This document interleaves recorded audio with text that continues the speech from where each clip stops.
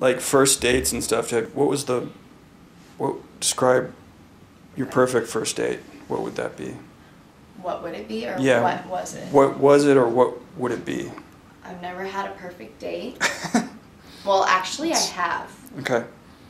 Um, but my perfect date would I would want um, a guy to drive me up on top of a mountain and just sit on the hood of his car watching stars, create a picnic, you know, and just share things that have happened in our lives, you know. Mm-hmm.